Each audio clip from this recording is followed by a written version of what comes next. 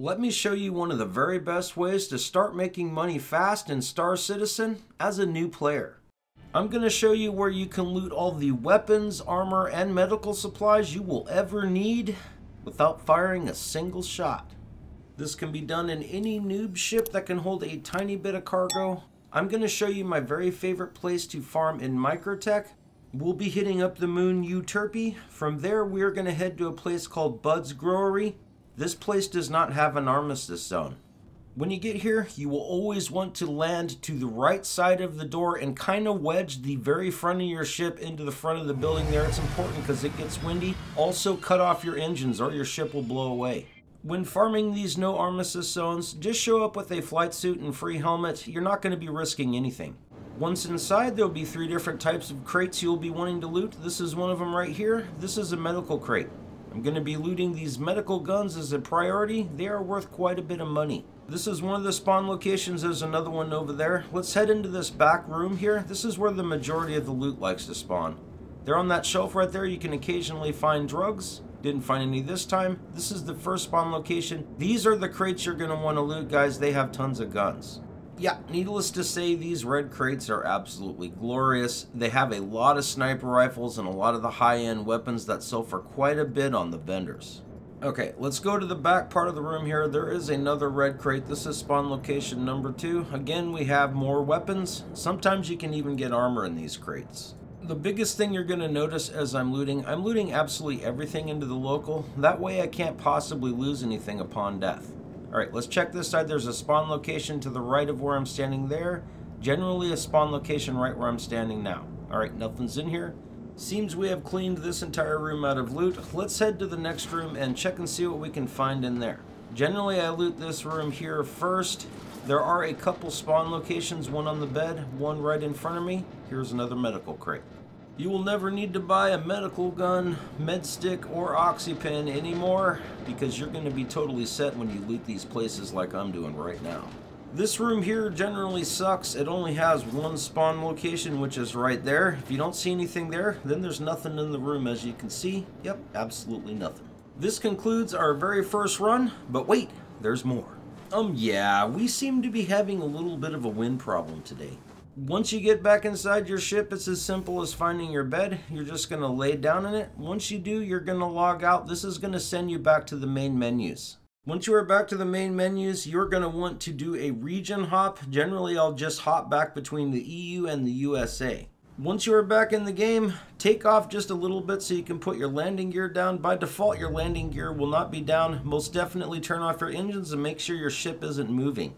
Make sure you wedge your ship to the right side of the stairs like I originally showed you, because if you didn't and you log back in, there's a good chance that you are now blowing across the surface of the moon trying to get your engines turned on. Let's do one more run for posterity. You are definitely going to be looting, logging out, logging back in, looting, logging out, logging back in. You're going to be doing that a whole bunch of times. I think at this time I'm on reload 7 or 8. I mean, I haven't really been keeping track, but I haven't been doing this all that long. Darn it, no drugs? Daggone it, there's no drugs. Alright, nothing in spawn 1, nothing in spawn 2.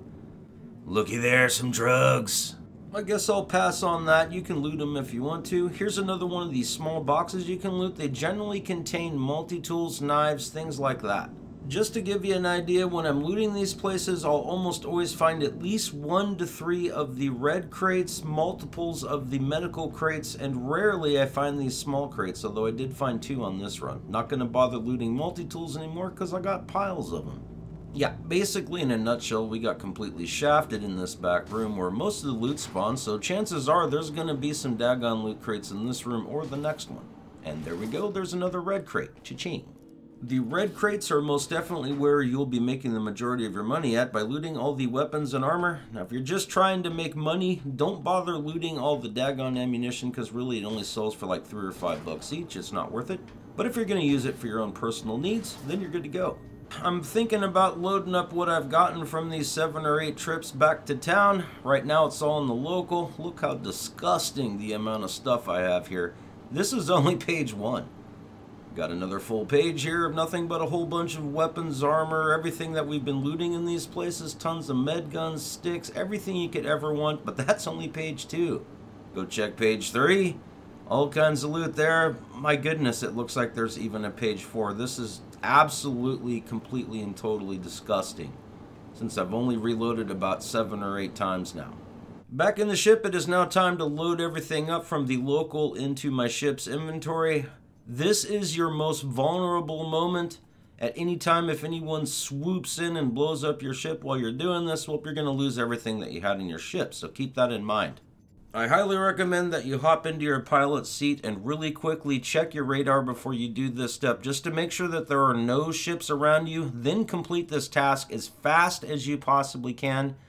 Perhaps you didn't have to be as greedy as I was and loot absolutely every daggone thing in the universe before making this video, just to show you how much crap you can get. Maybe do some trips before you get this much loot so you don't, you know, lose everything if someone happens to come in and gank you really fast. Once you have everything loaded up, break your neck as fast as you can, head over to MIC-L1.